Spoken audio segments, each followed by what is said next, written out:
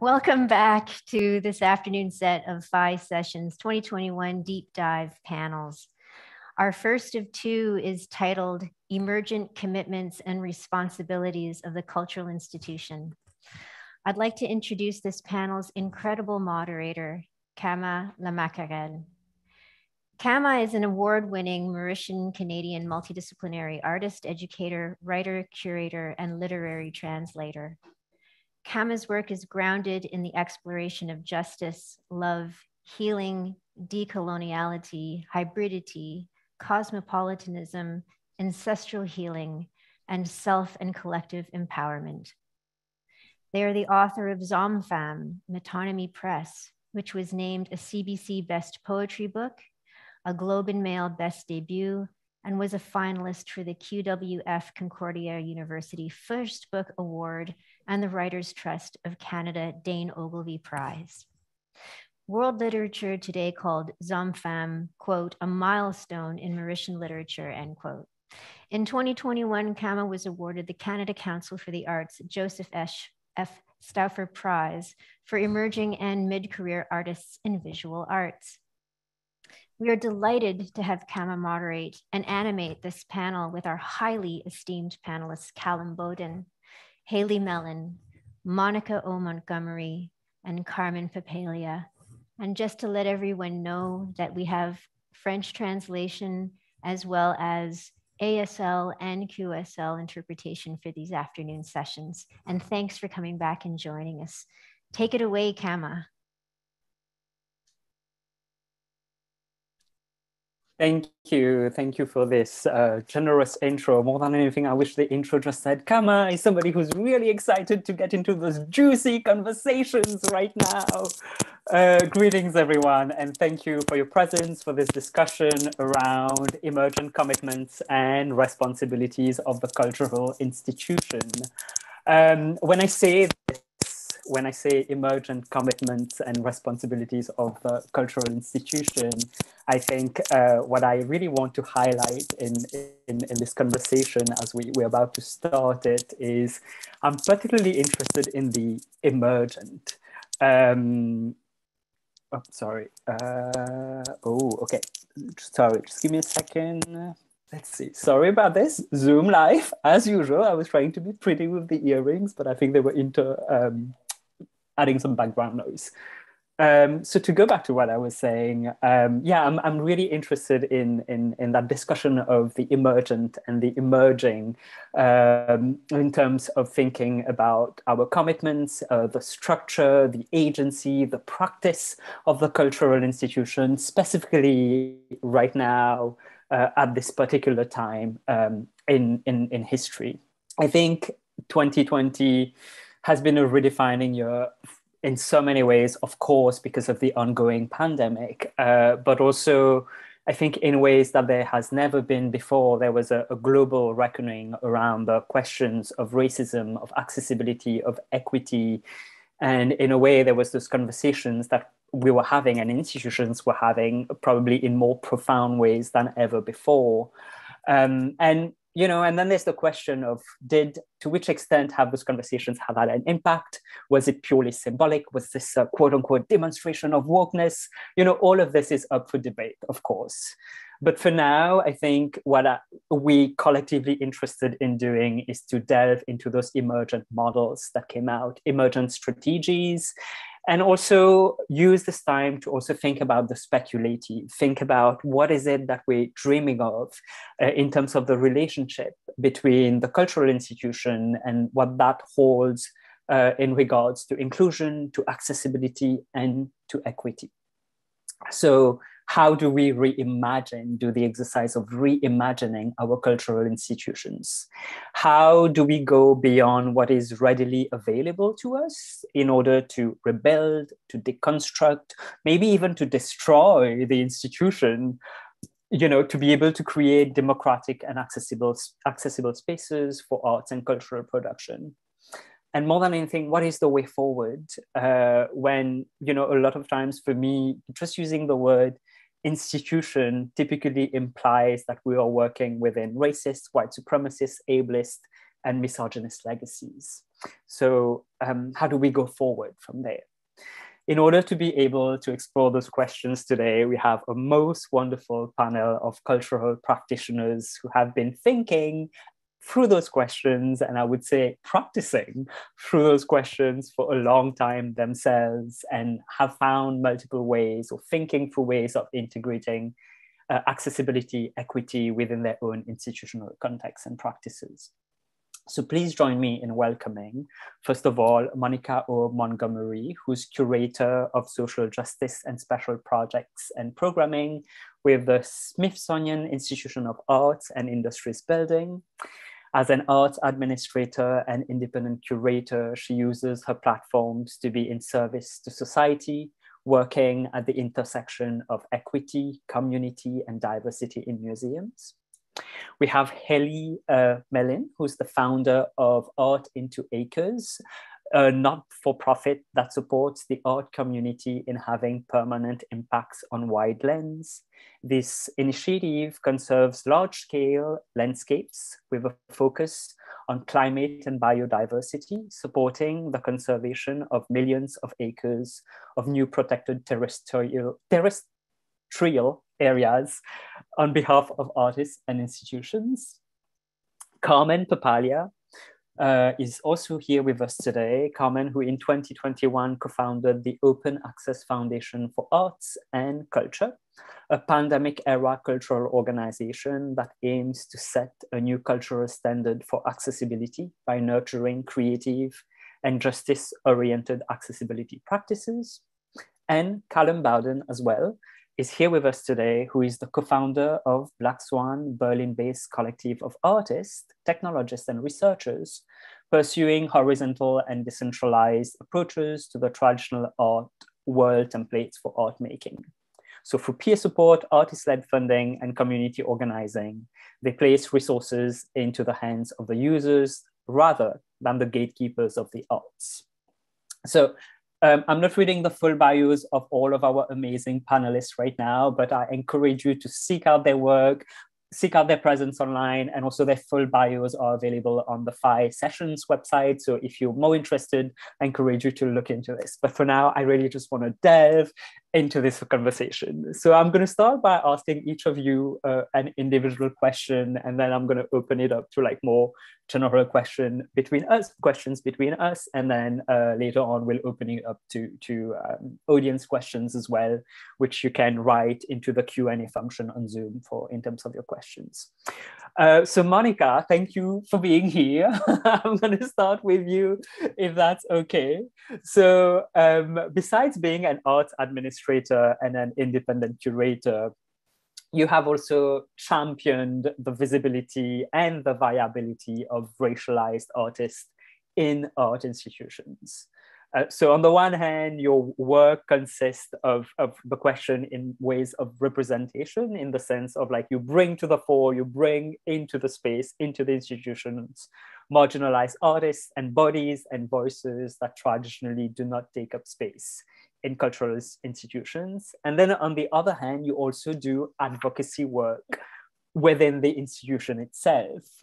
So my first question to you is, can you tell us more about this relationship between the two? On the one hand, working primarily with BIPOC artists, bringing them in. On the other hand, working in terms of advocacy within the institution itself to change its structure do you feel that those are two sides of the same coins? Do you feel like what is the relationship between like those two approaches to doing this work? And what are the challenges and lessons you've learned in doing this?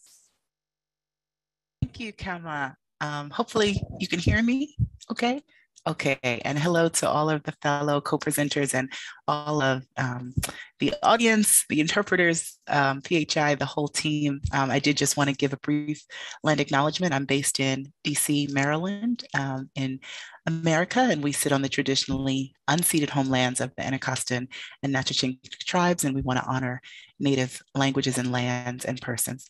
So I am a creative disruptor and I love it.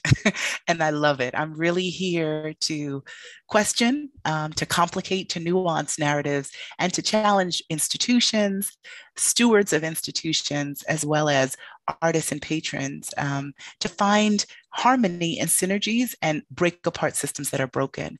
And so within the many hats that I wear, being a social justice curator at the Smithsonian, I'm also co-founder and strategic director of an organization called Museum Hue that champions the viability and visibility of BIPOC folks and making sure that our voices are heard and we're represented in space in museums, arts, heritage, history, culture. I also do a lot of diversity, anti-racism, consulting. Um, and I'm a professor. I teach about museums and social justice. So trying to catch that next generation. Um, and before they get too fomented and hardened, you know, how can we radicalize and decolonize their thinking? I see it all as different facets of the spectrum of trying to make sure that equity is embedded in the beginning, that it's not the croutons on top of the salad, um, but rather the DNA and the ethos um, of what we are trying to do as individuals, as institutions, as collaboratives. And so being a cultural creative disruptor means that I'm working with the institution in on the inside. I'm also coming to institutions from the outside to consult and advise and implement. I'm also catching those who are unaware of all of the political dynamics and fraught tensions within structures of arts, culture, and museums, and making them aware that these things are being discussed, and then working with students um, and others who are trying to gain entree. I think it's also about how to create both a structural and a cultural intervention. How can I be a catalyst and others, right, who do this work because we are not alone, we're crowdsourcing the brilliance here, position ourselves to translate between entities and parties, as well as problematize and complicate, moving away from white normativity or the default, right, or white supremacy, and banishing tokenism, right, having a certain amount of Black or marginalized or Indigenous or persons of color, but what does it look like to mainstream our ideas in our existence and embody that presence and show up to make moments into movements so that there is sustained change. So I love working in and with museums. I also like working outside of them. I like championing for artists and making sure they get fair treatment and a platform. And I also like pushing artists to kind of come out of their comfort zone and speak the needs of what they are hoping for to institutions, right? So things will never change unless we speak up. There's a quote that I like, um, said by a legendary gender neutral activist, Pauli Murray, um, who was a lawyer and a clergy person. And they said, We can't start to heal until we tell the truth. And so, truth telling is at the essence of creative disruption, at the essence of making sure that equity and fairness is the lens we work through. And truth telling is what I am about. Thank you. Oh, thank you, thank you, Monica, for just like such a rich the, um, a response. I'm like, there's so many things that I just want like jump into right now, uh, but I will wait for a moment until we hear from everyone. But um, I very much love the the the, like the the way you use creative disruptor. Like it's just so so filled uh, and full of, of potential. We'll, we'll come back to quite a few things you said uh, during the session. Uh, my next question would be for Calum, actually. Um, so Calum, with uh, Black Swan, the collective that you co-founded, uh, you are actually working towards a horizontal, decentralized approach to art making. And this means that you go through mechanisms of peer support and artist-led funding and community organizing um, to then place resources in the len- in the hands sorry of, of the users rather than the gatekeepers of the arts um, and I'm very curious about this because I, I feel like structurally already you're already presenting us with a model of like how you are doing things uh, differently. Um, can you tell us more about this work? Like how have you thought through through such a structure um, you know, that gaze, uh, goes against like traditional ways in which institutions work? And how have you enacted uh, this approach in the work? Yeah, so first off, hello everybody, I'm Calum, and I'm one of four members of Black Swan, which is a collective I co-founded in 2018 with Penny Rafferty, Laura Lotti, and Leith Benkhedda. And Black Swan very much was a reaction to many of the topics that have been discussed already today. Um, and earlier there was a comment about um, artists potentially leading the way and brokering new new relationships and driving institutional change. And this is very much the position from which um, Black Swan is starting. And we are all cultural practitioners within Black Swan that have in different ways experienced difficulties of accessing institutional resources or participating within legacy institutions. And so um, the failures of cultural institutions in meeting the needs of artists were very present for us. And um, we're all based in Berlin, where there's increasing gentrification and um, it's increasingly difficult for artists to ask uh, to to just access very basic um, levels of security and, and resources. And so um, we wanted to try and use a methodology of speculation that could somehow drive positive material outcomes. Um, so thinking more about infrastructural critique and how we can respond to our critique rather than just keep that within a discursive space. Um, the project also is very much inspired by blockchain and decentralized autonomous organizations, but more in the 2017 and 18 version of things than the current NFT mania that is sweeping what seems like the whole internet. Um, and blockchains were interesting to us for how they propose a means of reprogramming the way that value is um, distributed, circulated, held, um, how they propose ways of thinking about um, designing digital platforms where the users benefit from the value that is created within them, thinking about how artists could benefit from the value created by their artistic practices.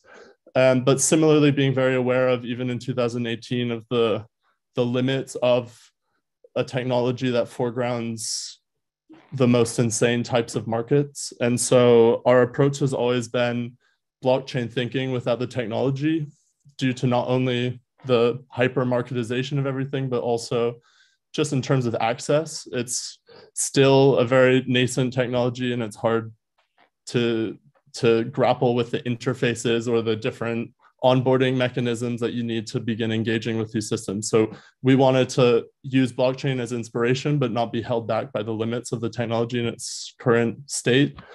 Um, and so Black Swan's goal ultimately has been to rethink the, the institution in terms of a digital toolkit or thinking about how we could use digital tools to somehow engender interdependent art worlds based around situated knowledges where the value is redistributed to the people who are creating it. Um, we understood that this was like a very utopian and difficult project to like begin trying to pragmatically address. And so we didn't want to take the usual tech industry methodology of imposing a solution to problems that maybe don't exist, but rather wanted to find ways of working with existing communities of interdisciplinary creative practitioners to think about what are emergent behaviors that aren't currently supported by institutional structures. What can we learn about the emotional affordances of different aspects of um, whether it's organizational forms or um, decision-making systems. And so we wanted to take a play-based approach to find out what an artist-led digital institution might look like.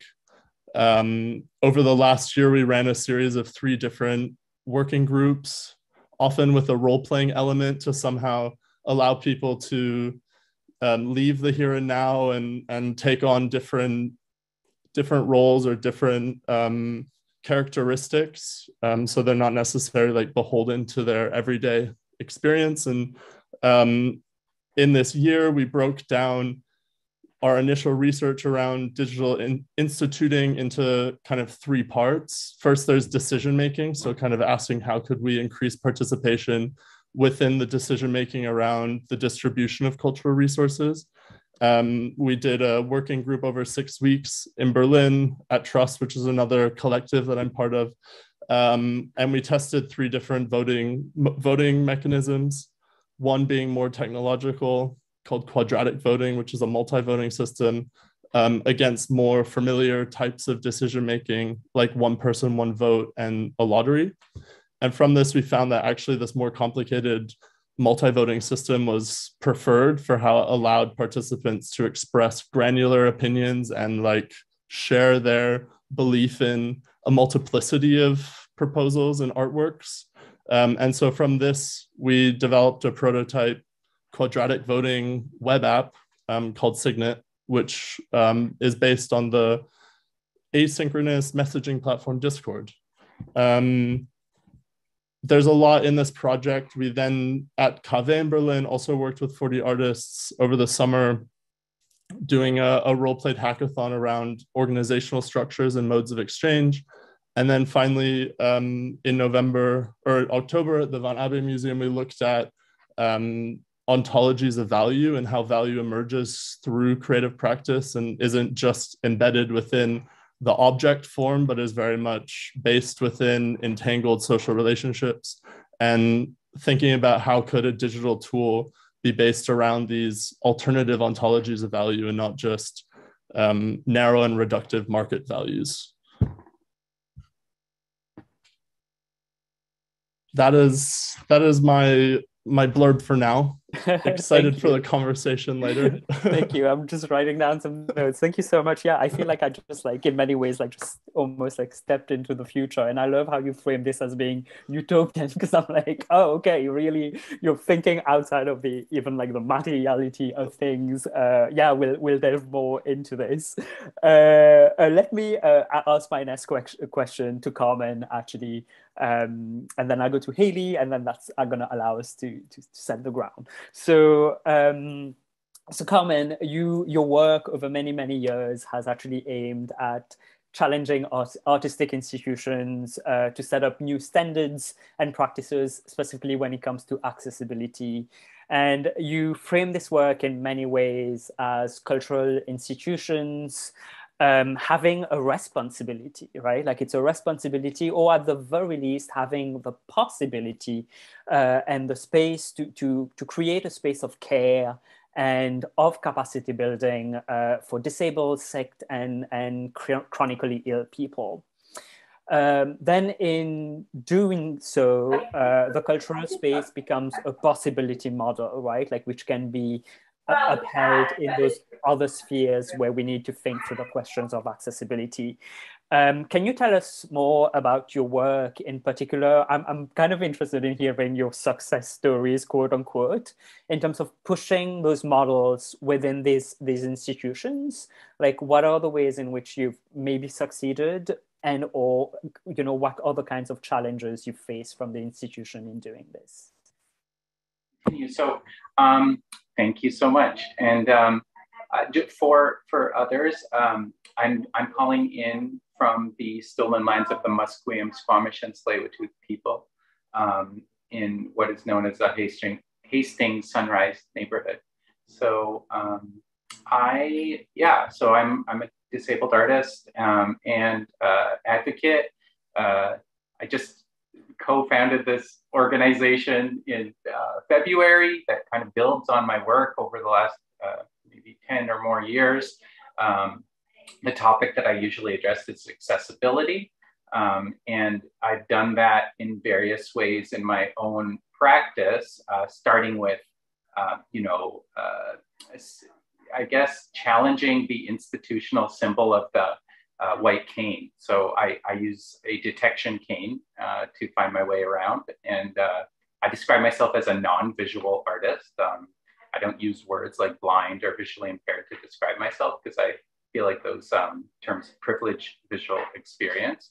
So ever since I started using a cane, um, I started modifying it because I was not in alignment with the um, institution that it's associated with. So um, one of my performances um, series, I replaced my cane with different things that I use to navigate public space. One being a marching band that uh, serves as my navigation system.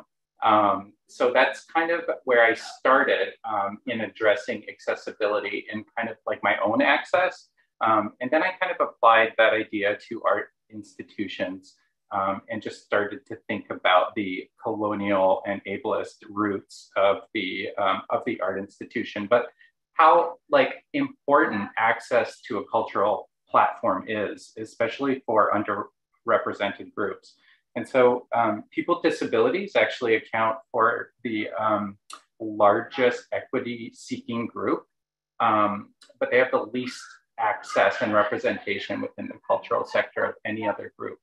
Um, and this has to do with limited access to employment, um, uh, limited, um, I mean, the most common experience within the disability uh, community is, is that of being on, on in poverty. So um, we really, as a community, are uh, still, I think, um, trying to, I think, coming to this point uh, culturally, um, and I think this was very much spurred by the disability justice movement, which um, um emerged in 2005, where we are really developing our own systems and practices and resources um, for care and building capacity for care within our communities that we lack um, on account of you know governmental failure and uh, ableism and uh, policing. So it's very much the disability justice movement is a uh, I think very much connected to transformative justice. Um, it, it, imagines a world that doesn't require institutions um, or the state. Um, it was it was proposed this framework, disability justice, um, was proposed by um, a collective of uh, queer women of color um, who are disabled, and it prioritizes people who are the most impacted by various uh, forms of oppression. So. I'd encourage people to look up the principles of disability justice. I think it's really a great roadmap for how to proceed um, in, in establishing uh, the supports that we need to uh, live uh, full uh, lives in community with each other. Um, and, um, and so I think when it, it, comes to addressing accessibility in the institution, like uh, in the cultural institution, um, it really is about um, can can the institution host us so we can be our full selves? Um, you know, can people be considered and not just be kind of compartmentalizing aspects of their identity like you know disability justice isn't you know embraces uh, all intersections of experience recognizing that you know we are disabled and um, racialized disabled and queer um, and so um, really is a you know this this um, framework that allows for cross movement solidarity so i think um, with what we are trying to achieve uh, with disability justice and those are who are dedicated to it um, is a, a, world, an ecosystem that can hold us um, and carry us in our wholeness, where we, in a place where we have agency and decision making power um, and representation in decision making processes. Um, and uh, we, I, I think, um, have adopted um, a system for accessibility as disabled people that was invented for us, especially within the museum and the arts. Um, access, access programs grew out of education programs. The first accessible programs, like um, an example would be um, in 1913, there was a series of uh, talks for uh, blind ch school children at the Metropolitan Museum in New York and really, this was just a way of delivering, you know, uh, art, art historical information um, and reinforcing the privileged visual art experience. It wasn't about, you know, translating in a way that would be accessible to this group. And um, and and I think it, access programs have pretty much stayed within that group. Um, they, you know, often is the case where, you know, if myself, I will be offered an opportunity to touch something, maybe a texture sample. Um, and the idea is that I will touch something to get a sense of what the thing that it came from looks like, um, not how it necessarily feels. Like we don't have a conversation about tactility um, and and what you know um, and, and that dimension of access. So I think with the disability justice um, movement and the ways that it is, is finding its way in guiding uh, work within cultural institutions, um, it, it, really is about um, allowing um, this kind of uh, existence from a dis- disabled uh, or, or dis- for the point of view of disability culture. Um, so you know, can these cultural cultural institutions actually meaningfully carry disability culture um, in all its complexity? And um, I think we do much in our culture to minimize disability or to alleviate the condition of disability. We want to, as, as, as Eliza Chandler, uh, who's a disabled uh, scholar and, and curator, says, dwell with disability. So we want to be able to, um, you know, imagine a world that centers disability experience. Um, so as myself as a non-visual work, uh, as a non-visual artist, can engage with, uh, you know, uh, in non-visual learning, um, or someone with a chronic illness um, that is episodic doesn't have to be held to the uh, maybe kind of brutal timelines of the uh, uh, of the art institution. So you know, I really think it it requires a radical restructuring and reshaping of the institution around the the, the demands and desires of the disabled body and mind. Um, that is you know, I, I would I would think of like what needs to be prioritized uh, within the institution to center um, that that caring culture. Um, you know, would we is, is it relevant for us to hold on to our our collections when we don't even have you know accessibility measures, the basics um, available for people? Um, you know, could we potentially um, use those um, and re- reallocate those resources for for folks um, in various ways. And so um, I think I think really what I'm, I, I what I mean when I say I want uh, our organization as well it sets a new cultural standard for accessibility.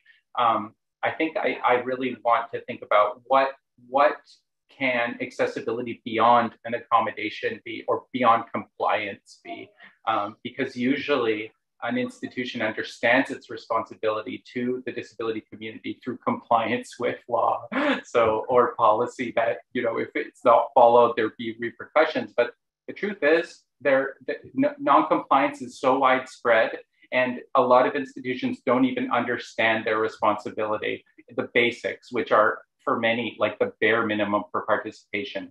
Re, you know requirements that allow someone to get in into the building and you know, kind of navigate their surroundings. Um, but how are they treated once they're there? So I, I really, I think, uh, you know, I've, I've had many interactions interactions with institutions around the world. Um, I'd say my my most success, uh, what you know, recently has been with the Mackenzie Art Gallery in Treaty Four territory, uh, uh, so-called Regina, um, Saskatchewan. Um, I've been working them, with them for a few years, um, and we we recently uh, developed a new accessibility uh, policy together um, that involved community stakeholders and advisors from various communities, uh, friends. Um, you know, uh, my, my friend David Garneau, who uh, is a Métis painter and curator, um, uh, Peter Morin, who thinks about indigenizing museums, uh, local elders, representatives from disability justice organizations. And really, it was this years long learning for the institution to shift the paradigm from uh, universal design or like universal accessibility and these like basic bare minimum compliance level measures to um, a world that centers disability uh, culture culture and experience and, and how that serves um, uh, other missions around decolonizing, for example, and holding an anti-racist space. So um, I, will leave it there, but thank you for the time and um, I'm happy to be here. Thank you, Carmen. Thank you so much uh, for being with us and, and for such a generous response. I'm, I'm going to quote you again. One of the things that you said that I wrote down is like, you know, thinking about an ecosystem that can hold us in our wholeness you know like that really stayed with me. And we're, going to come back to it uh, in a moment because uh, that's something i think that's going to be my next question for all of you around this. But uh, let me welcome haley uh, so haley you founded the art for acres an artist founded nonprofit environmental and art initiative based uh, in california uh, focusing on large-scale land conservation for climate, indigenous peoples, and biodiversity support. Um, I find the notion of uh, land conservation, like it's something that really struck me uh, because in French, interestingly, uh, we have two words for curator in French. Uh, one of the word is commissaire, as in like curator of an exhibit. Uh, and then the other word is conservateur or conservatrice, so conservator, which is like the curator, the conservator, the curator in a museum who basically conserves the work of art. Um, and with art uh, into acres, I find the notion of conservator and conservation comes back, uh, but not in relationship to artworks, but in relationship to ecologies, to territories, and traditional lands of indigenous peoples. Um, so, can you tell us more a little bit about this model and the how and the why um, of how this model of conservation in a different way speaks to you in that relationship between territories and, and the arts. Yeah, of course. Thank you, Kama. I'm just happy to be here, as Carmen also said, and it's wonderful to listen to Monica and Carmen and Calum talk about their work. Um, it's just such a pleasure. So I think you know, today I am zooming in from the traditional homelands of the Maya and Shawnee people and what is known or called Miami Beach at present.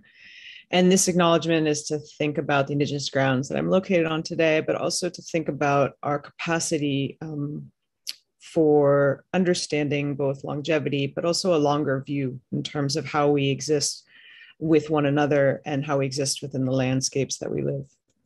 Uh, your question about uh, conservation or being a conservator makes me think of the saying about uh, you know if you're going to plan for 100 years you educate children. And my work works is very close between education and sort of climate justice and environmental justice. Um, i'm an artist and as an artist i'm interested in in legacy and what we leave behind or what we push forward uh, for when we're no longer here. And also as an artist i've learned so much from from individuals and from cultures that um, are, are quite historical. So i'm co-founder of art art into acres as you mentioned and also of art and climate action in san francisco of artist commit in new york and the environmental council at moca in los angeles um, which is the first sustainability council of a museum in the united states. And i think one of these intentions in, on my end is to engage is to sort of learn, talk, and to support capacity building within the museum and institutional art space within artists in their own studios, but also within just our communities. Um, because climate is something that we all share. It's really the term for long term weather. And it's this um, engagement with also what we can't see, which is so fascinating from an arts art, artist or arts position. Uh, so uh, I founded Art into Acres as an opportunity to support Indigenous uh, led conservation efforts uh, on behalf of artists. And so for a long time, I worked with artists and we would, uh, you know, they donate a painting or sculpture or whatnot, and we would um, support the conservation, permanent conservation of a new conserved area somewhere globally. Um, and then an artist, Mika Rottenberg, came forward in 2019 and she said, you know, I, I don't really make that kind of art um, but I do do institutional shows, and I'd really love to engage the institutions that I work with uh, in in looking at climate justice and also looking at carbon drawdown, right? Because all the things that we do are creating a carbon emissions. This Zoom call is creating carbon emissions, and how do we clean up, you know, uh, sort of our pollution? And so we started putting a line item in her budgets. I think the first one was for the MCA Chicago, and really just sort of adding in um, support for natural protection, support for avoided for deforestation of old growth forests. And from there, um, different institutions started coming forward. And to date, I think I've supported about 45 different museums in doing their first carbon audits for an exhibition. And, and from that, I just started seeing how exciting it was for artists to learn about um, the sustainability of their own practices. And Artists Commit recently, just a month ago, published something that is uh, an open template for all artists to use called a climate impact report. And it details not only your carbon emissions, but also how are you handling waste? How are you thinking about reusing packaging? Uh, what is the hiring and climate policies of an organization you're working with or showing in? And so all of that um, really sort of ties in this important uh, point of access access to education, to awareness, to facilities, or to procedures that can make our daily practices uh, more sustainable and more viable for us all to continue to be here long term. Um, and I think that that underscores a deep sense of empathy um, not only for environmental justice and those impacted most by what will be coming climate change, but also for indigenous justice and for justice for non-human species. And so i think my work really engages that sort of like how do we think about the non-human world? Um, and how are we sensitive to our impacts on the non-human world? Uh, at present if you weighed all of the uh, animals sort of created for animal agriculture for human consumption and then you weighed you weighed all the humans so you weighed all of those mammals there that would be 96% of the total mammal weight on the planet and wild animals would account for 4% so that's quite intense. Um, but i think that seeing this this work in action is quite exciting. This morning i was at at uh, ICA Miami meeting with them in Artforum magazine and and their staffs Teresa and Kate and Alex were really excited talking about you know how can they think in a more sustainable manner how can we slow down shipments how can we um, plan in a way where we can uh, engage with our daily activities as such as to promote um, climate awareness and, and, and, just better practices across the board. And so, to return to your question about conservation and curation, I feel like the the curation of our daily activities and how we um, process our activities, what we choose to eat, what we choose to throw away, what we choose to use, is going to really curate the conservation of our works in general. Because if we're going to make a sustainable platform, a sustainable cultural platform, that's going to enable us to promote and to, to promote the continuation of ourselves, both as a species, but also to promote the continuation of a way of living and being with one another that is inclusive to the accessibility of um, sharing practices that will allow us to sustain ourselves long term, sustain our culture long term, and to sustain this, you know, wonderful art space that we engage, um, and so that the works long term are continue to be experienced by people so I think that's that's really my work. Um, we mostly support land conservation, and uh, we support maybe four, five, six new national national parks a year. Um, but it, it's quite a pleasure to do, and and so yeah, those are some thoughts to begin.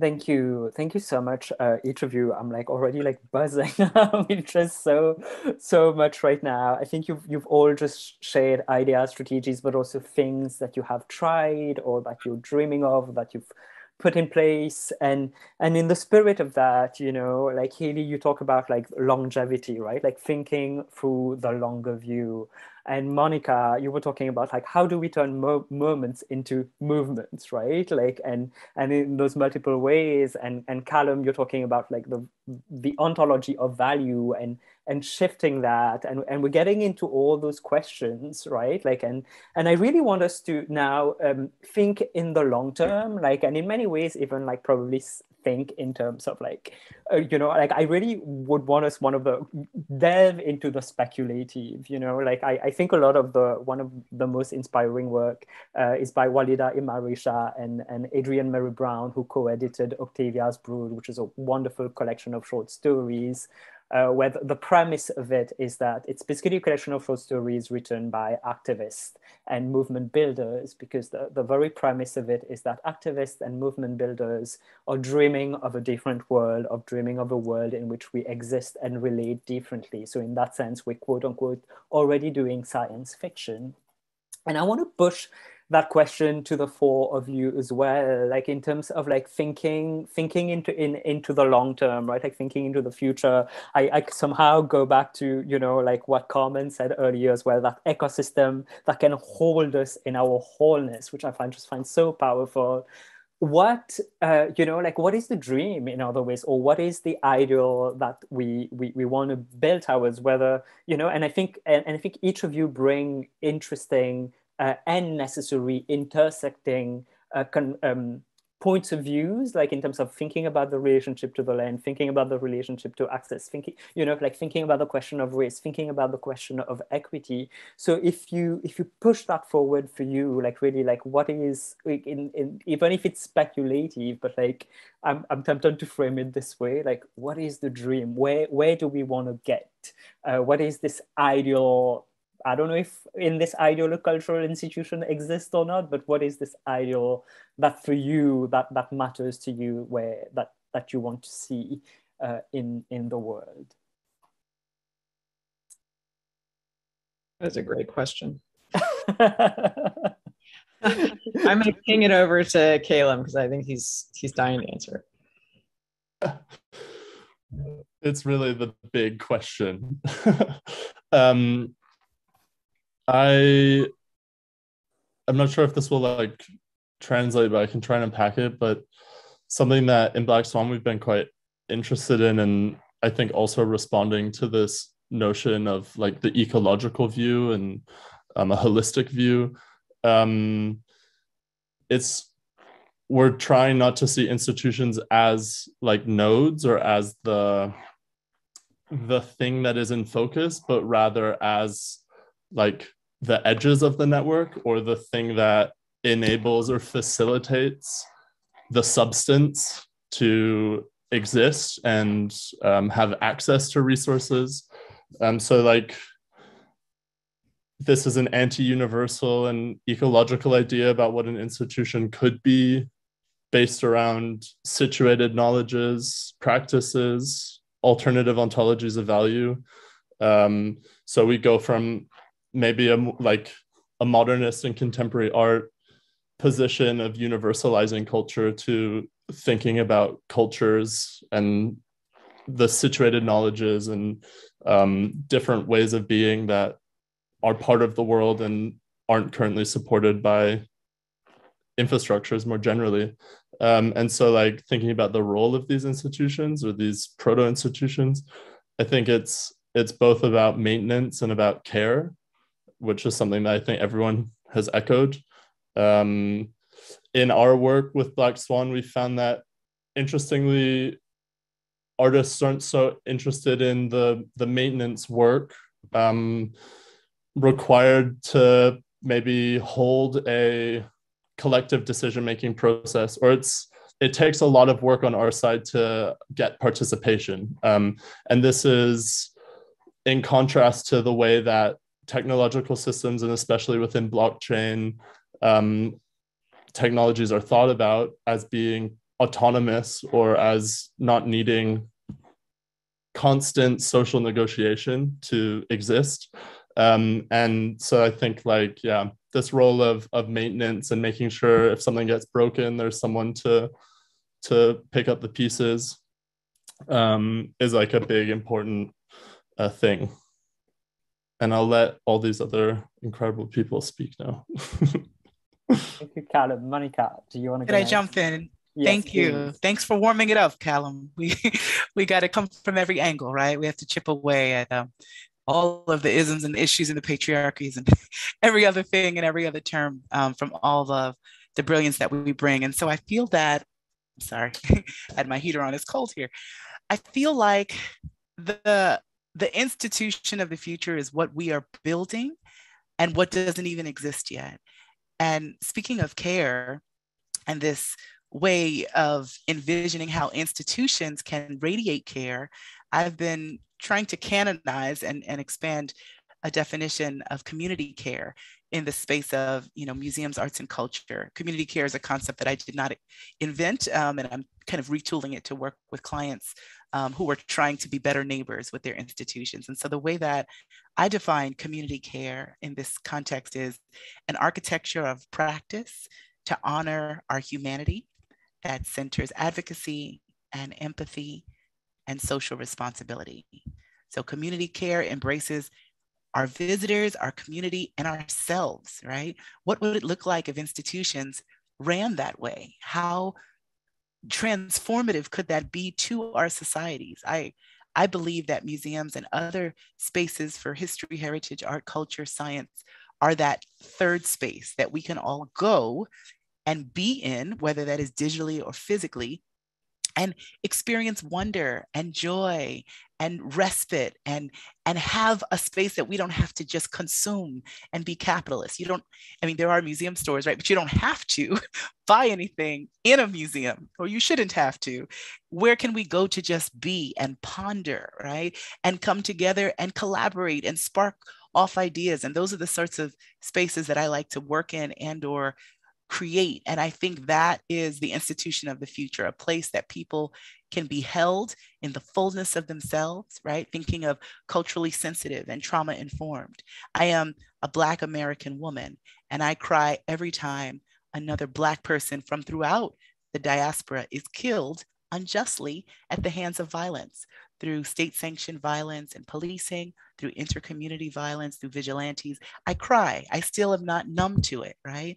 When I saw the when when when I saw the court cases, right, of, of George Floyd's killers and Ahmaud Arbery's killers and names that we've come to know, it it it hurts me, right? And even when justice is perceivably gotten, that life has been extinguished and lost. Can I show up to your institution in tears?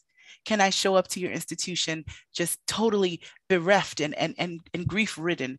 Would you welcome me then? Would you welcome me when I'm not at my prettiest and my best and smiling? Would you welcome me if I'm in a state of disarray? How can an institution literally hug me and those like me and make me feel better than when I walked in the door? What does that look like? How can an institution be a space of shared authority? It's not just the director and the executives and then falling down this line this organogram this kind of chart of power right? What does it look like to share power and exchange roles and shadow one another and give up power and hand over power and cede your seat to those who want to come in right? Or those in the community who should also have a vestedness and and an understanding. What does it look like to factor in indigenous futurity right? And thinking about indigenous persons and those who have created systems and structures and who think in generations and we can kind of go from this fiscal year to this generational kind of thinking I, I, feel like there's so much that an institution could be and do just to be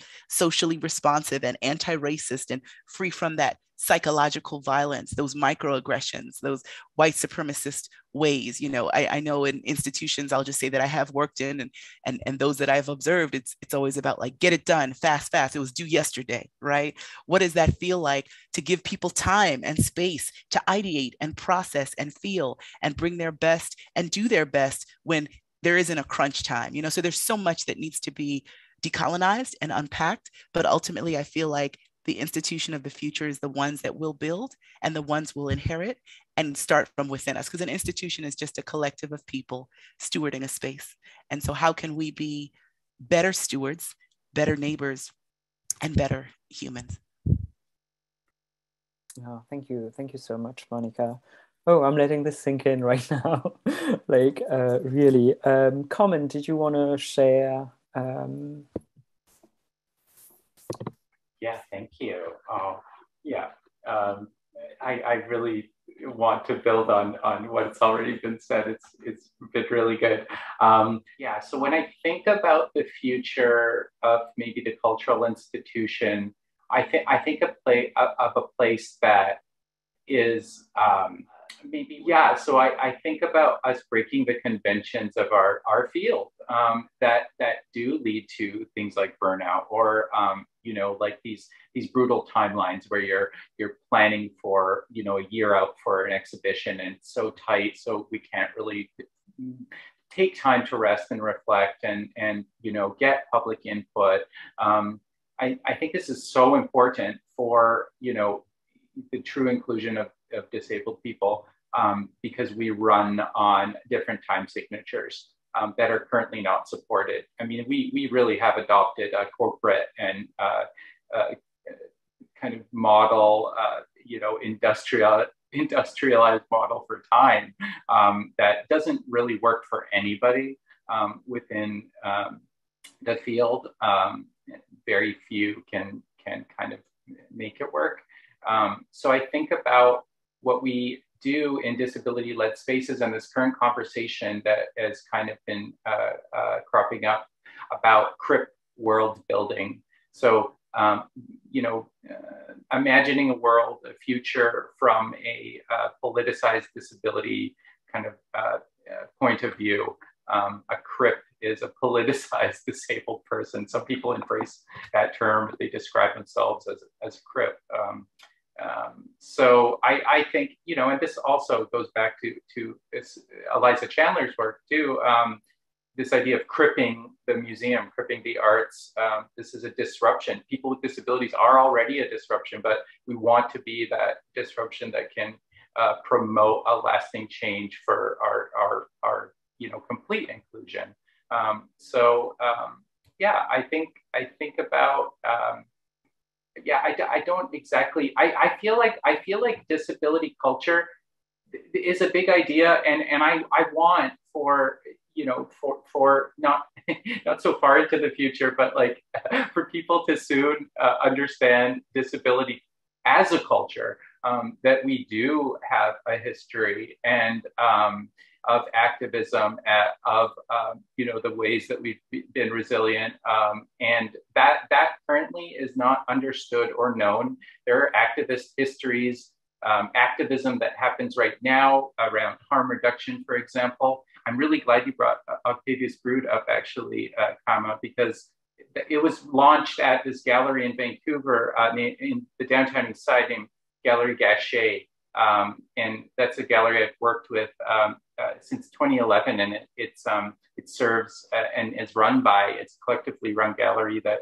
is um, dedicated to demystifying issues relating to mental health.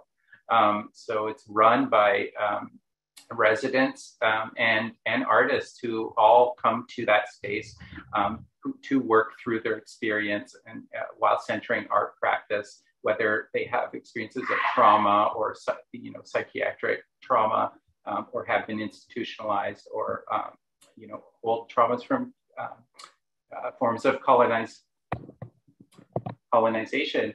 Um, and so Octavia's Brood was was actually uh, uh, released um, at an event called Reverb, a queer reading series. Um, and uh, I would really, it's not running right now, this reading series, but I think they really did accessibility. Like they, they really were projecting into the future. Uh, I think uh, in the ways that they operated as, as a group um, with no money at all, um, were able to create this beautiful, um, complete kind of um, uh, uh, system of access um, and care um, for their events. So, and I, I guess like one those visions into the future when we when we when I participate in a disability led space, I feel like I, I I am I have a portal into um, CRIP time, um, you know, uh, CRIP aesthetics, um, I want that to be shared. I want that to for our institutions to be able to hold that and to to actually uh, understand disability as a culture um, and with its richness. So um, I yeah that that's that's what. Sorry, I'll I'll I'll, I'll stop talking now. Thank you. Thank you, thank you, Carmen. Um, also, just as a reminder, if people have questions, we're going to take them in a bit. You can drop the questions in the Q and A. Uh, Haley. Oh, thank you. I just wanted to underscore how important what Carmen said is, and that it should be heard and acted on, and acted on efficiently. And I really liked hearing uh, Monica's quote about uh, that institutions are just a collective of people stewarding a space. And I I felt like when she said that, and I think you also kind of like wrote it down, but it opened up this sort of moment of like, okay, it's a space, and and space can be so powerful, but it also can be really uh, un- not powerful if we don't use it in an effective way. So, if it is a space, and it's a space that sort of is demarcated, um, we have to ask ourselves, what are we furthering in that space? What are we protecting? What are we maybe uh, underscoring that's helpful or not helpful as we start to unfold um, the language that is the future of our culture. And I feel like um, there's, if I move forward in her sentence, which is the word people, that's sort of where I would begin in answering your question because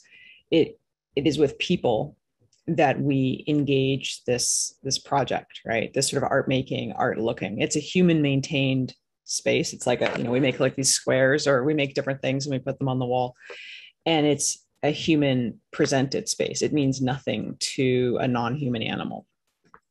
Um, and so if it is a human maintained space, we should look immediately at the people who work in that space. What is the situation of arts workers? And as new dialogues and new needs unfold, such as shifts in sustainability, we want to make sure that our arts workers are not, you know, beyond capacity, also underscoring Carmen's point, so that um, there's enough space to um, to learn, to change, to stretch, to be pliable, to grow, and so really starting with our arts workers and and transparency in in worker pay transparency in worker treatment uh, hiring practices et cetera is really important. And then on the other end in terms of cultural producers like looking at artists. And i think from as an artist i feel like there's a, been a very inherited hierarchy as to how to access um, the ability to show in institutions. And there's a lot of shifts currently with digital work and with crypto work, et cetera, and looking at um, does that hierarchy need to be followed? But are there ways to just access the ability to exhibit in institutions um, in a way that's much more democratic and much more inclusive? And so I think that my interest is really just the people, that the, the people working and building institutions and the people exhibiting in, in, institutions because the health in that space is really going to be reflected in the vibrancy of the institution but also in the institution's ability to reflect the now and also the now's vision on sort of the the view of our historicity as a society as larger global culture. Um, so yeah those are my thoughts. Thank you uh, thank you, thank you. Um, I, I hear a, a lot of things. Um, also, just yeah, as a note, I'm going to ask one more question, and then we're going to open it out. So if people want to put in their questions, like now is a good time to do that in the Q and A box. Um, you know like so we're talking we're talking about like systems the systems the institution as a system as a box as a whatever symbol we want to give it to it that's already in place and then we're talking about people, right? Like ultimately it's people. And within the notion of understanding people, there's our own personal values. And then there's also just like, you know, the network of values, right? Like a, a collective of people coming together, ideally with shared values, you know, and, um, you know, like there, there, there are quite a, a, few things that have been raised. Like, I, you know, uh, when you opened earlier, Monica, you were talking about like how we need to think about not not about those questions of equity and accessibility as like what comes later, but that it needs to be integrated in the DNA, right? Like in the very functioning, the very imagining, which all of you are doing, right? Like you are already thinking about those questions in a deep way in the very imagining of what that structure and those networks of relationship could look like. And one of the things that strikes me based on what you've shared, but also based on like my own context and, and people I've met over the years, um, you know, who actually have been doing that kind of imagining, sometimes within the institution, sometimes leaving the institution because it doesn't quite work out, and then doing their own thing. Um, and, and for me, that really brings up the question of leadership, which I think has been raised earlier today as well, in the sense of, you know, like I, I feel it's a bit I don't know if it's a chicken and egg question, but like for me personally like it's it's clear that there's a leadership that there's knowledge um, you know knowledge that hasn't been valued like some of you already pointed out to right? Like that that actually that forms of resistance and imagining whether it's with regards to disability justice or transformative justice that that has already existed um, and that there's knowledge out there right that might not be institutional or academic knowledge but that exists in in our practices in how we relate to each other and how we're building together. So my question then is how uh, you know like what do we make how do we you know because there's there's a leadership there and there's knowledge and values that can come from people like all of you and other people doing the work on the ground. And then there's you know like what i like to call the dinosaur which is like the, the structure of the institution. And clearly the leadership right now is coming from that structure. Invested its own power and like whatever it is that that structure is trying to protect as a system. Um, and how do we get to that shift in leadership? Uh, you know, because I, I feel, and that was a question that was raised earlier in terms of like, you know, like what is it that the institution has to learn from artists? Um, is that something that you want to share your thoughts about?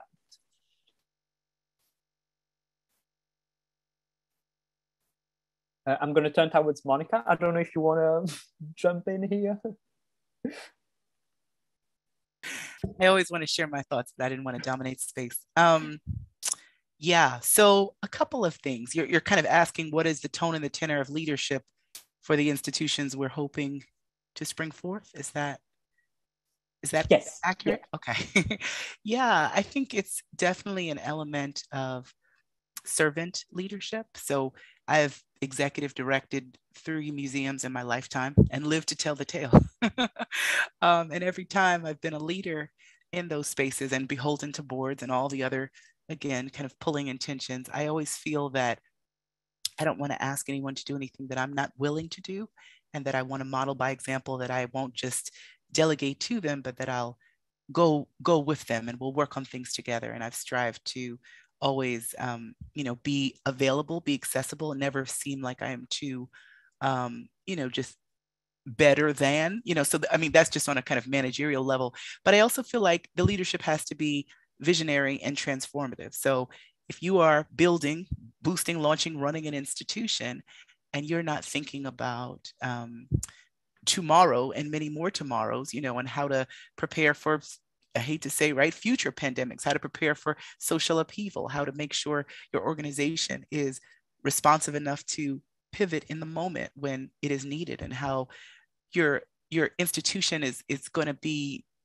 mindful right about its activities you know? So when i when i consult with institutions and you know i ask them how do you spend your money? right? Where do your contracts go? If you say like many institutions last year came up with like black lives matter solidarity statements and that is good and fine and that is a start right? Statement crafting is is very you know laudable and how do you put the action behind that? And what does that look like? And if you're really aligned with black lives or bipoc lives or any other marginalized or underserved group, right? How are you truly uplifting that group and trying to enhance with the power you have the, the the outcomes of that group and how to use your privilege to leverage on behalf of those who need right? And so is it the case that you're giving opportunities? Or are you again i can't say enough to cede your seat right? I've talked to certain boards and executive directors and they've said oh you know what should we do? Uh, monica we, we, we want black lives all of this. And i'm like great. Which of you are ready to step down and nominate a BIPOC person to replace you? How are you doing succession planning?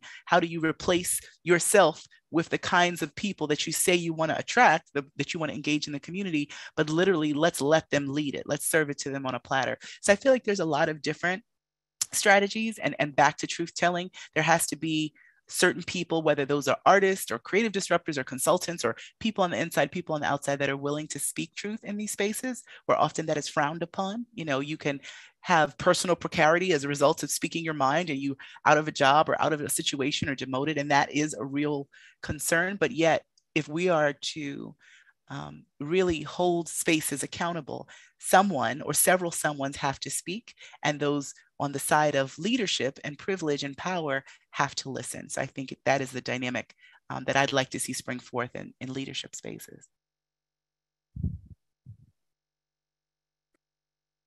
Yeah, thank you, thank you, Monica. I, I, have to admit, there's a part of me that's like, but how do we make them listen? you know, I think there's a part of me that also feels that. But yeah, I'm, I'm, I'm entirely. Uh, it's a long you. game. It doesn't happen overnight. It's a long game. It takes years and years and years to chip away at those. Uh, yeah, I guess that's why we're talking about longevity as well, and and and the long game. But yeah, it is. I think there's something also in terms of thinking about like ceding power, right? Like, and, and within those structures. Uh, other contributions to that previous question um, around leadership and like taking leadership from artists and where that comes from. Does anybody else want to share something with regards to that? I just wanted to say that I loved how Monica explained that. I like that she really went into detail on it, but it really does begin with listening. It's interesting that to lead, you must listen throughout, not just like to start and then you do something, you act, but the action is an integration of listening in motion, I would argue. And so uh, recently, for example, uh, two institutions in Germany reached out, the Hamburger Kunsthal and the, the Kunstmuseum in Bonn. And they said, you know, we really care about our workers and we care about the sustainability of our actions and we want to learn. And so then I said, how do you want to learn? And they said, well, we want to learn by also engaging with the broader reality of our culture and of our community and of our political system. And, and they, they cited the Paris Accord, the Paris Climate Accord, where there's a 50% reduction aim in carbon emissions by all of us by 2030. So they said, we want to focus on that. We want to focus on our reductions. And so we started doing the math. And in listening to the different groups, I noticed that um, it was really the youth actors in the institutions that were bubbling with excitement. They were quite keen on the work they were doing. And it's, you know, it's arduous work. I mean, you're just filling out spreadsheets and looking at metrics and figuring out how do we ship something in a more sustainable way and and learning these step-by-step actions. And so in that process, I saw that if you make space for for someone for people's voice in a way they can fill it and they can guide themselves. And so i did very little in, in particular with those two institutions um, and they self-guided their own improvements in their practices. And i think it was both very accounting uh, very uh, empowering for them to engage in their own accountability for their climate space and for their consideration of environmental justice. Um, but also it was interesting to see how when an institution um, engages nonprofits, engages artist support, and engages sort of more of a decentered or decentralized approach to identity, it actually makes the identity of the institution itself all the, I would say, all the more um, grounded and all the more centered on its core. And so I think that inclusivity and that openness um, allows leadership to actually be stronger and not just be about one one person or one voice. Yes, thank you, thank you, Haley, for for uh, bringing that up. Um, yeah, I very much like that too. Um, Carmen or Calum, do you want? Is there something you want to share at this point?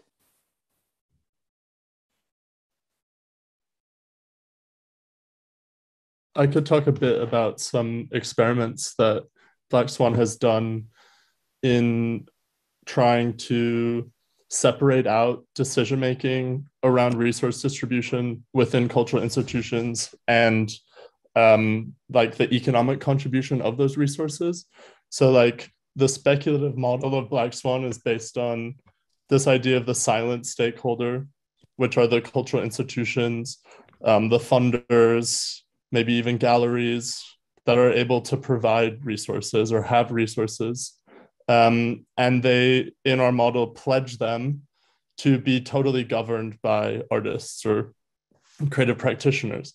And so this like multi-voting tool that we developed is intended to be used for deciding how existing resources within the art world are used. And this um, experiment that we ran at Cave over the summer uh, involved 40, 40 practitioners um, that for a month um, in September had to negotiate what to do with basically 20 um, some were residency spaces some were micro grants um, different art resources. And it was quite interesting because as we black swan went into this process we had this like speculative model of wanting to separate out governance and like resource use or the decisions around resource distribution, but we weren't sure how easy it would be to convince like institutions to take part in this because it it requires such a, a leap of faith, I guess, and risk and um, everything that the neoliberal institution is trying so hard to like pretend doesn't exist. And so we were super surprised that we ended up with 10 or so like everybody we asked said yes to our experiment um, which i think also shows maybe some understanding from within corners of institutions also that things need to change and that um, we need to try different things. But yeah it was it was super interesting to test this separation of um, economic contribution and decision making and i think that's like maybe a more parasitic approach to um, addressing some of the issues we've been talking about and like monica discussing seating the seat of a board is like a, a maybe more um, internal approach. And then i guess the experiments we've done are more external or exogenous.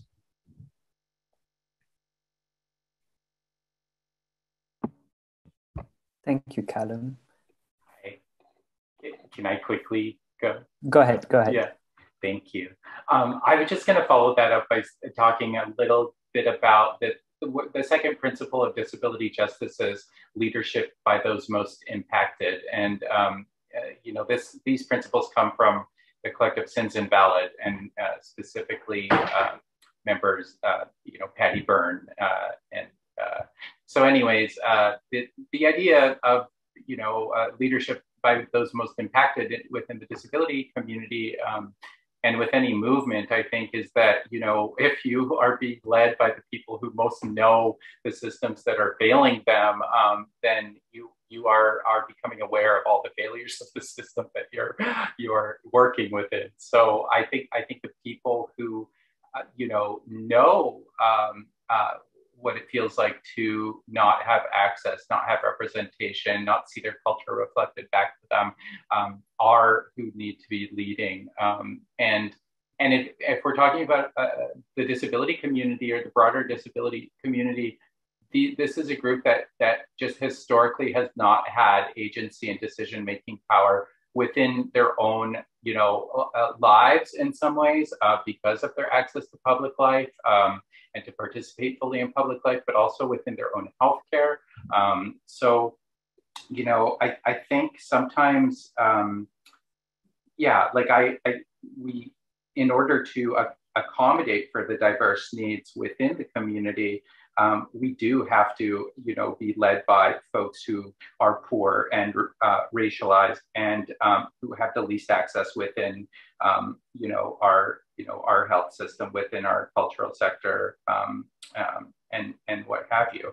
Um, and and I think that's that's how we can honor you know humanity I think in its wholeness. And and where the cultural institution actually becomes a site for you know it's not just a, cult, a cultural history or a, a, a document or archive or a keeper of cultural history uh, written by a specific uh, uh, few, um, you know, who who maybe uh, kind of have that privilege to that platform um, historically or traditionally, um, but it's it, it is bringing you know the, those new. Um, I, I'd like to think so. In 2015, I, I wrote this accessibility manifesto called Open Access, and I talk about accessibility being um, something that can support a continu- continuum of embodiments, identities, realities, and learning styles. And, and I, I do think that that's what we need the, uh, the, the, museum to be um, as well, is, is uh, something that can su support all of those um, uh, perspectives. Um, and, and that's only going to happen if they are, you know, these, these institutions are led by, by folks who hold those experiences.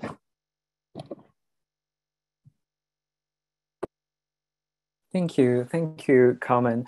Um, I have one more question, actually. Um, you know, when we, uh, around all of this, uh, there's, there's, just, I have like three pages of notes in front of me. like, this is just so generative and so rich. Thank you, everyone. Um, one of the questions that I have is around like the notions of values, really, because like, I think one of the things that we've kind of like broken down for this conversation is the you know like the understanding that yes there's a system there's a structure but also it's the people right like down the line who actually run this and then it's about like shifting uh, in terms of the people and their values on the one hand and then on the other hand there's you know people like you people like us who are doing speculative fiction you know are thinking differently which of course and all of this is grounded in values right? Like in, in your own values right? Like uh, personally and then uh, you know and then there's and then you meet other people who share those those values right? Like and and you come together and then you you start making your thing. You start your collective right? Like or you start pushing against the institution. And i think one of the things that's coming out for me it is that question of value and like you know and it's not in my experience at the very least you know there, there, there are people like you who do the work that you do where you talk about your values as you have today. You know there, there are certain artists who might do it but like we do not necessarily in my experience have that like you know like it's we that sort of like stating of the value that you're working from and the work that you want to be doing even as artists and if we're thinking of um, you know like chipping away as, as monica said like chipping away at that that uh, you know at the institution and that structure in that way do you think that also individually and and then of course then collectively that it is actually important for us in particular when we're thinking of that shift of, uh, of leadership it for us as people with lived experiences who are marginalized and or for artists, is it important for us to, first of all, do that interrogation in terms of our own values, like me as an artist, what do I stand for? What do I want to be? One. And then two, to actually explicitly express that. Uh, do you feel that's a, a, a necessity? Absolutely, Kama. I think that, um, I mean, that's what we're doing here today. And that's why I really appreciate that the PHI Foundation of Contemporary Art gathered this very lucid uh, group of individuals. And I look forward to the rest of the series because it's reflection that is most important for action. And I don't think there's, in listening to the different speakers today, there's there's not one topic I think that is more important than the others. They're all important, but I think that the thread that I can see weaving a tapestry that is um, functional is this one of, of awareness and, and and widening awareness and widening acceptance. Um, I think this awareness and acceptance go hand in hand. It's about um, reducing these barriers of judgment, reducing these barriers of like con- con- the conflict we face with um, unfolding newness and unfolding um, the education of our own brains as we, we we move away from like past trainings that were maybe not effective or not um, promotional for life and moving toward something that is healthy, that is accessible to all, and that allows our arts to develop in a way that reflect um, who we truly are and how we truly um, envision a, a successful uh, future together.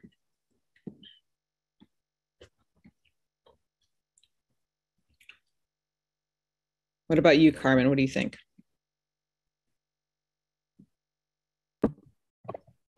Um, can sorry, comment. Could you uh, restate the question? I, I need to find a way, a, a, a way in again. Sorry. Uh, yes, I was um, framing the question around values, whether it's important on the one hand for us as individual and artists to like do that work of reflection, but also to explicitly like name the values that we're working from and and the vision towards which we we want to build so that individually if we do that we find each other collectively I, I think we do. Yeah, definitely. And and I, I definitely see this like within this panel too, like these connecting threads and um and how you know what what I'm calling for in disability justice is is is exactly what um, you know fo- folks um, on this panel are are calling for as well is like a you know a, re, a restructuring of power and um, um, I I think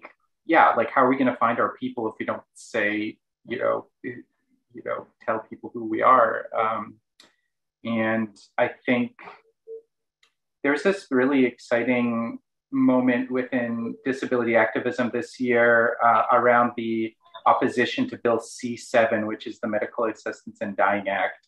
And um, it was, they held, uh, there was this event called the Disability Filibuster that held, um, you know, 24-hour live streams for a few days leading up to the passing, eventual passing of this bill that uh, broadened the guidelines uh, so uh, for medical assistance in dying. So anybody with a disability diagnosis um, could um, either request or um, be recommended um, medical assistance in dying to um, alleviate their condition of disability. Um, so I, I think in that moment, though, um, because there was such this presence like we, we're so like separated by distance um, and and uh, limited mobility and barriers to mobility uh, within the disability community. This virtual live stream, it was full of people talking about what their values were and like like representing their politics and like talking about what it means to like live and, and hold disability culture. And um, um, because there was such someone's audio, sorry. Um, yeah and and I, I think it was a moment where a lot of people found each other and like there's already collaboration going on for like you know artistic interventions um, from people who found uh, the, the, you know each other within this within this moment um, uh, in in the spring and um, you know there are people who are doing harm reduction work in Vancouver downtown east side who are now uh, understanding their uh, their their place and connection within the broader disability movement, which is pretty amazing. Um, so I just yeah, I think we need to take up our platforms, what we have access to, and and definitely you know talk, yeah share share our politics, share our values, and yeah, hopefully we find each other.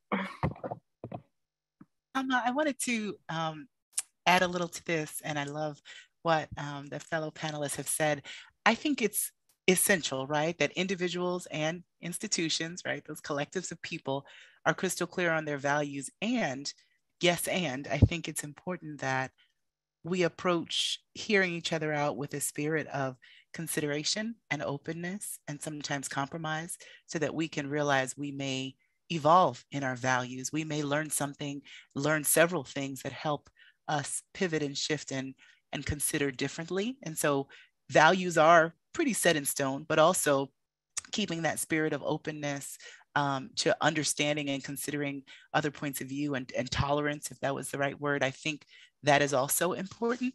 So it's good to know where you're starting from, right? And certainly say, as an artist, as an individual, as a human, here's how I show up and what I show up for, what's happening in the world, here's how I feel about it, what's happening in my community, here's how I feel about it, and here's the kind of perspectives and worldview I brought to the table and realizing we don't have to be so hard nosed that we can't evolve and grow and learn over time. Um, I also think, just in the spirit of remedy, you know, I'm I'm I'm constantly consumed, you know, whether that's an institution or, or a situation of like, you know, what's wrong, what's right, and how do we fix it? And so having a value like that, it doesn't necessarily mean that there's any one thing that I am like, forever pro or forever against, but it's like, how do we get to being that solutionary in that space of realizing how our presence and our perspective and our worldviews can show up um, and resolve what needs to be resolved. Yeah, thank you. Thank you for bringing that up, Monica. Yes, indeed, like that notion of like shifting and changing and growing and resolving and repairing uh, also fundamentally like yeah it's yes you can have a value but then and you can communicate that value but then you know like where how does that shift and and how does transformation happen for that we have one minute left i don't know if Calum if you want to add anything at this point or not it's totally okay i i think just following on from what Monica was saying about these like values in flux um, having looked a bit at value as part of our research in Black Swan, um, they can become like regulatory ideals. Um, and I think like looping back to something that Kama asked me earlier earlier in this panel, um, I think it becomes about how values are enacted. Um, how do we create practices that make our values tangible and lived and embodied so that they're not just um, discursive ideals, but also like living practices. Thank you. Thank you so much, Monica, Carmen, Haley, Calum, for this such uh, a rich and generative conversation. Uh, speaking for myself, I I'm still like buzzing uh, in my body, in my spirit, in my mind, and I think there's just like so much from from from your generosity. Thank you for sharing about your experiences, about your dreams, about like you know the future you're dreaming of.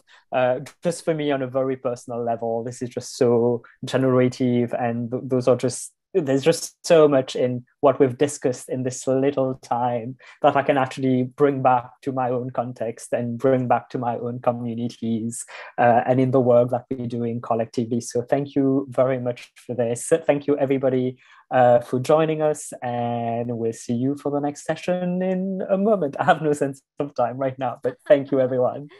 Thank you. Thank you, Kama. My goodness, you're the host, really with the most. And, and thank you so much to the panelists, Calum, Haley, Monica, Carmen. Um, you've given us a lot to chew on. It's been so generous, truly careful, and, and in depth. Um, and so we'll close this panel, but we'll keep these discussions going. Um, thank you also to all of us in, uh, in the forum for bringing our presence to this deep dive panel. Um, we'll now take a short break and we'll invite you to reconvene with us at 2.15 for our second deep dive session two, reframing the spaces of the cultural institution. Thank you all again and see you at 2.15.